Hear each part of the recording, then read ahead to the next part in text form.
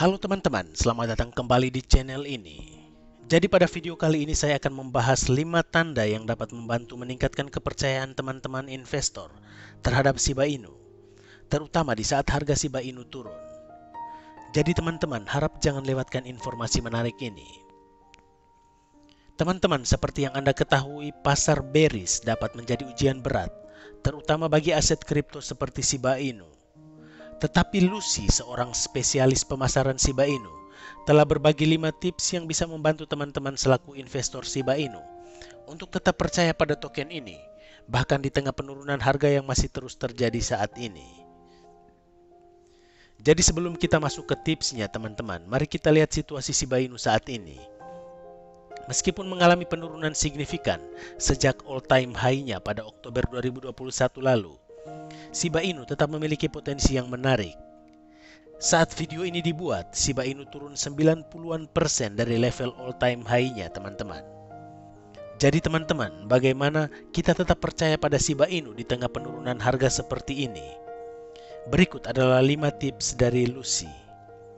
Pertama-tama teman-teman, kita harus mempercayai proyek kripto dengan visi yang jelas anda harus pertimbangkan tujuan jangka panjang mata uang kripto untuk menilai potensi kesuksesannya di masa depan. Kemudian teman-teman, Anda perlu melihat keterlibatan komunitasnya, karena ini sangat penting bagi eksistensi sebuah koin kripto.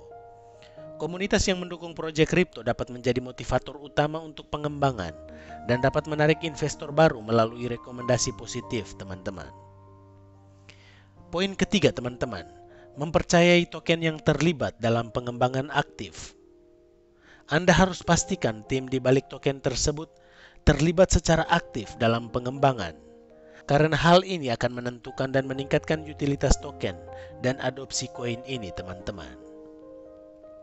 Sementara itu, pada poin keempat, teman-teman perlu memilih koin atau token yang memiliki kasus penggunaan di dunia nyata.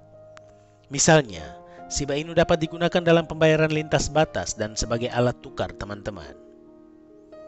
Akhirnya teman-teman, Anda dapat mempercayai token dengan fundamental yang kuat. Ini melibatkan penilaian terhadap teknologi, tim dan kasus penggunaan koin atau token tersebut teman-teman. Perlu dicatat bahwa Shiba Inu memenuhi semua lima tanda ini teman-teman.